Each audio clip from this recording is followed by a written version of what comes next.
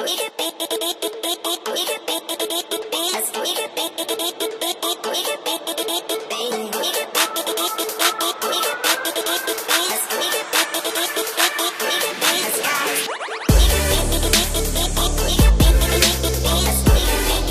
hello! So we've been doing a lot more intermediate or advanced looks lately, and I wanted to take it back down a notch this week to some of the foundational ideas. Like anything, it takes a lot of time and skill to master something, but just because you're not a master doesn't mean that you can't make something that is great or seemingly elaborate. For this video, I just decided to play around freely with paint as a way to share some of the things I found are helpful to experiment with when you're learning how to body paint. This is all about encouragement and problem solving skills for the self taught makeup artist. First thing you should know is you do not necessarily need to be amazing at freehand drawing to be a body painter. Some of the best body painters might just be amazingly creative or bomb with really simple stencils and an airbrush. Being able to draw well certainly makes it a lot easier, and I would still recommend everyone spends time on that as well, but I don't think that you can't start body paint before you've learned how to draw well. So, my first tip, if that's the boat you're in, is to use reference pictures while you body paint. You can pick a real picture, another drawing, anything that you can visually study as you paint. I'm picking something very easy for this example to show you that if you can draw a line at a time, you can still make something cool. But as you keep practicing, obviously you should challenge yourself to move on to more complex shapes and objects. Alex Pardee is my favorite artist ever, so I'm using a mix of these two pictures specifically and his overall style as my inspiration. You can apply these tips though to any look you want with any colors, not just this one specifically. Okay, that was a long intro. So as you've seen, I'm starting off by just laying down a base of a bunch of colors. I like the face on this guy, so line-wise I'll be referencing that, but I like the colors and textures in this one, so I'm incorporating that as well. I'm using all water-activated paints for this, but you could use alcohol-activated paints too. I know that sometimes Alex Pardee starts with just a base of color like this, so I'm kind of working off of that idea right now. Once I have a base laid down, I start to very roughly mark out where my major lines are going to go. In this case, that's just a lot of wrinkles. I need to add the proper light and dark colors depending on where the lines are going to end up being, which is why I'm mapping it out first. You don't have to map it out this dark, you could use white or a gray or a thin eyeliner, but I just went for the dark. I left my brows on at first because I wasn't sure what I was going to be doing with them, but I don't think we're going to be needing these anymore. If you want to get rid of your brows, you can always block them out first, or you can do the white over the eyebrow trick, or you can just embrace them. Embrace your dark brows, make them part of the look, figure it out. Another reason to start with something like a pre-existing drawing like this is its abstract kind of cartoony nature gives you some leeway in experimenting as you get comfortable with drawing. If you're not going for complete photorealism, you can find your own style that doesn't need to follow a set of rules. Some of the best art is extremely accurate photorealism, and some of it is completely unbounded creativity, and neither is better than the other. I stopped to add white where the teeth would go before I did my rough outline of the teeth just to make it easier because sometimes filling in white near black can get a little messy. But the nice thing about water activated paints is you can pretty much put any color on top of any other color as long as you wait for them to dry in between layers. If you use cream paints, you won't be able to do this and you'll have a hell of a time keeping it off of everything that you touch, wear, or pretty much look at. Then I start filling in the colors to complement the outline. You can see from the reference drawing that Alex Pardee uses darker colors under the cheekbones to give it a sunken feel and lighter colors in areas that are meant to appear raised.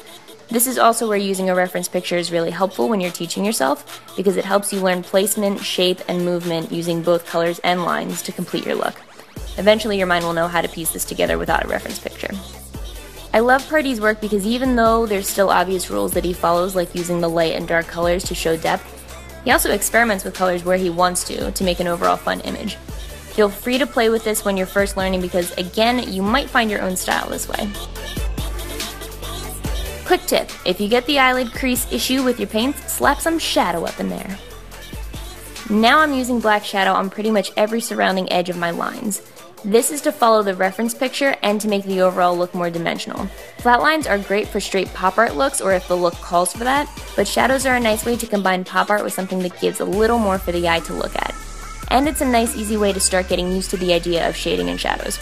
Anything sunken inward would have a shadow around some part of the inside, depending on where you're pretending your light source is. For this look, I'm just following the reference picture, but a good way to learn where to shade and highlight, depending on your light source, for when you're not using a reference picture is to take any 3D object, sit it in one place, and then move a light source around it in all different directions. Pay attention to how the shadows change and where the highlights change. In theory, when you're working your way towards more realistic body paint, you're going to want to mentally decide where your light source is, stick with that, and then consistently make your shadows and highlights upon that. This is nothing new. This is how people have been learning how to draw shadows and highlights for a very long time, but nonetheless, it is a very easy way to learn. If you're not sure right now, just start experimenting along the edges of your outline and get a feel for what illusion it creates to the eye. I'm using straight white paint to place my highlights based on where they are in my reference pictures, or another way to do a highlight is to take a lot of water on your brush and sort of wipe away or thin out some of what's there.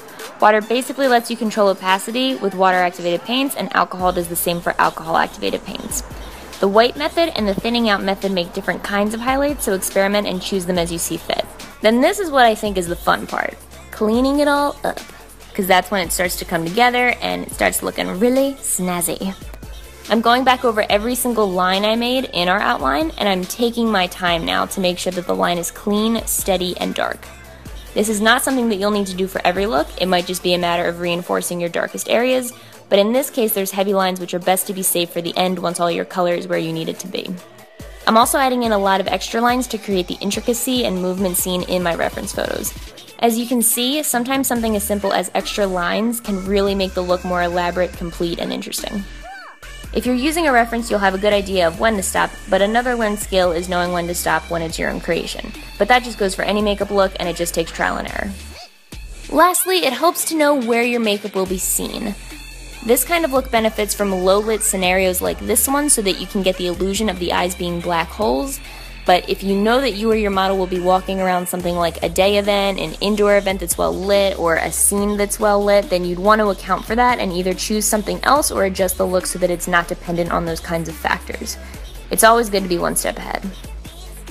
But those are some basic tips to help you grow your body painting skills when you're just starting and experimenting. Remember that everyone starts somewhere and it's often just a matter of time and dedication. People will always have things that they naturally excel at and things that they naturally don't, but people most often fail something because they don't try. So stay open minded, zombies, because sometimes you should just sit down and have some fun. You might learn a thing or two along the way. Yeah, dog, I heard you like teeth. So we put teeth in your teeth so you can look at teeth while you look at teeth.